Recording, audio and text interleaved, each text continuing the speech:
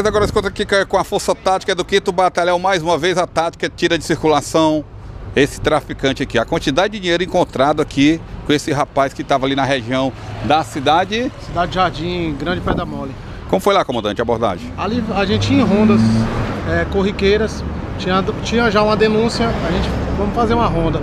Passamos no local e vimos a movimentação estranha. Quando eles viram a viatura, correram. Dois conseguiu escapar, o que está preso entrou dentro da casa. A gente foi para o fundo da casa e um patrulheiro ficou ali na frente. Não conseguimos pegar os outros dois que correram. Quando entramos dentro da casa e começamos as buscas, a surpresa.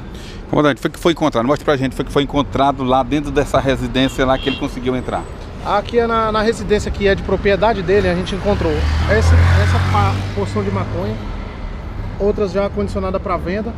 Essa máscara que a gente acredita que estava sendo utilizada para os roubos nos ônibus ali naquela região da Pedra Mole e é a grande quantia de dinheiro, além dessa arma artesanal e esse relógio. Comandante, quanto é que tem dinheiro aqui que pode configurar o tráfico? A gente não conferiu ainda, mas aproximadamente um, mais de 3 mil aí tem. Mais de 3 mil reais. Sim. E essa arma é uma arma fabricação caseira? Caseira, caseira. Inclusive tem, tem notícias de várias ocorrências com utilizando-se a máscara e a arma.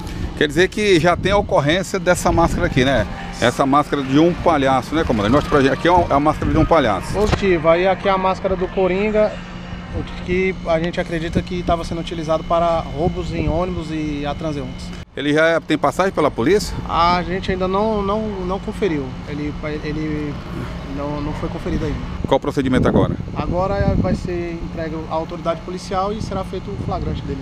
Tá aí a Força Tática do 5 Batalhão, essa equipe aqui, mais um vídeo vai mostrar a equipe que tirou de circulação a quantidade de dinheiro, a quantidade de droga aqui. Esse aqui deve ter a droga já com. Já ter vendido, né, comandante? Essa quantidade de dinheiro pode ter sido já o, a droga que ele já vendeu. Sim, a gente acredita que já é dinheiro de outras vendas e também pode ter dinheiro aí no meio de, do, dos 157, dos roubos que eles vinham praticando. Tá aí, Força Tática e a gente recitando mais um flagrante do repórter 10.